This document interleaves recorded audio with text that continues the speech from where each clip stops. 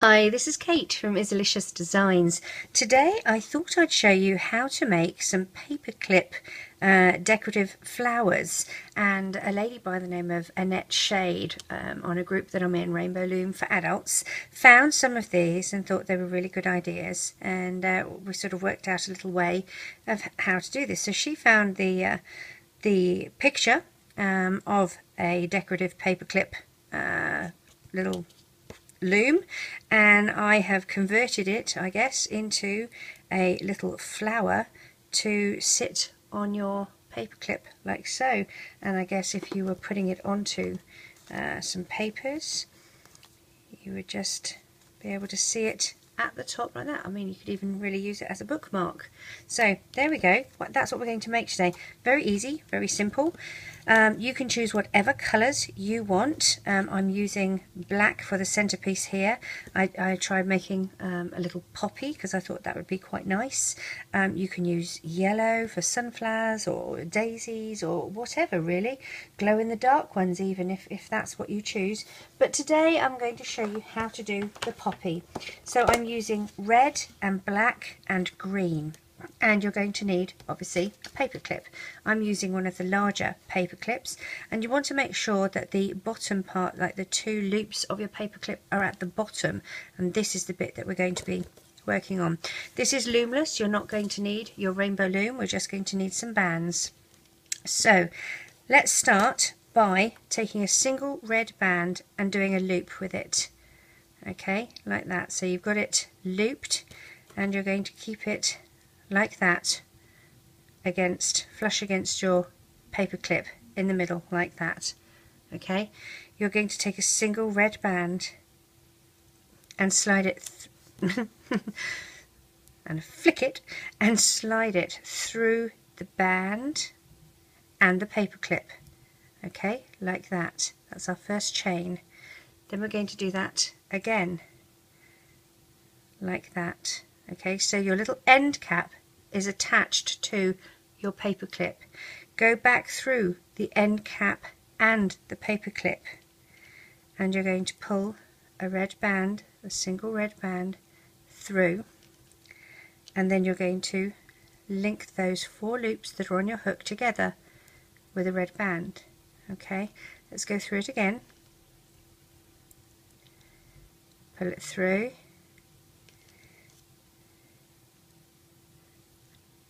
link them together. Let's do another time. Make sure you go through both the loops. Pull it through. And link together. Now at this stage you can just do a little rosette around. You don't have to put it, you don't have to make it a flower, but I'm making it a flower. I'm going to take a green band, single, wrap it around my hook once, twice, and three times and then I'm going to take two green bands and put them on the end of my hook and slide that single green band on. I'm not going to reclaim the end of my green bands just yet. I'm going to take two, put them on the end of my hook and slide up and reclaim those ones. Then I will reclaim these ones and take another two green bands and slide those two on and reclaim. So I have all of these green on there. I'm going to take a single green and I will slide all of those green bands on and reclaim like that. That's going to be my little leaf. Let's find another another hook. You can use a paper clip, you can use um, toothpick, pencil, whatever. Let's just put that little leaf there. Okay.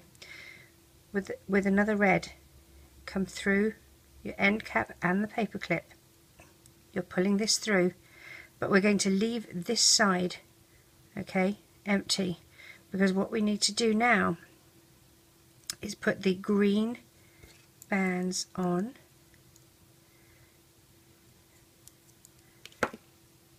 Slide the red so that it's in the middle and then pull the red through like that. Then you have those four red loops on your hook.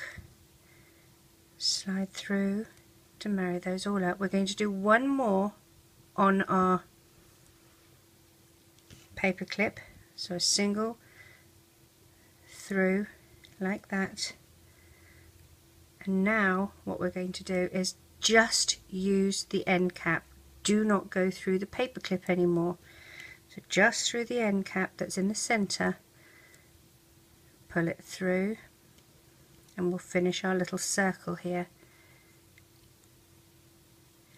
Just through the end cap not through the paper clip.